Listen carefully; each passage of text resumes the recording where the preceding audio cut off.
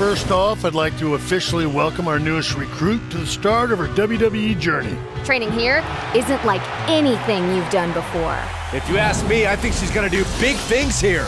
So it's only a matter of time before her road to Rhea ends with a terrible, violent collision. This will be a disaster of the most beautiful kind. If you want to call me out, you can just say my name. We were born into greatness. It's in our blood. In WWE, we like to solve our problems in the ring.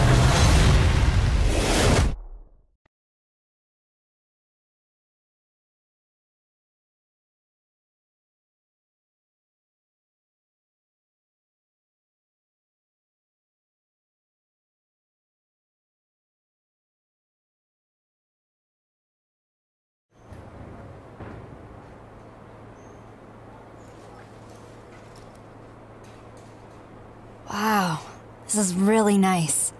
Yep, and it's the last stop on our tour.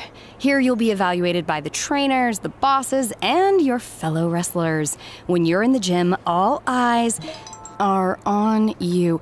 Oh, sorry. Isn't there anyone on the European side we can discuss this with? Ugh. Not discus. Discuss.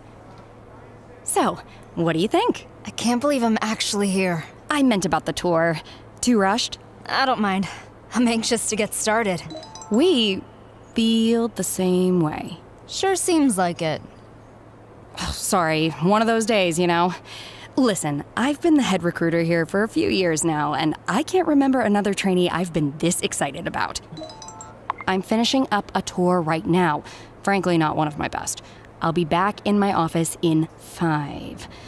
Any questions? Uh, just one or two, maybe. Like, I was wondering. Great. I've got to run and deal with this. And you've got the last bit of forms to fill out, waivers and whatnot. I gave you your training gear, right? No, I didn't. Get started on the forms. I'll be back in a few. When WWE is trying to put smiles on people's faces all over the world, it truly is all hands on deck. I'm walking back to my office now. Walking back to Wall King back to.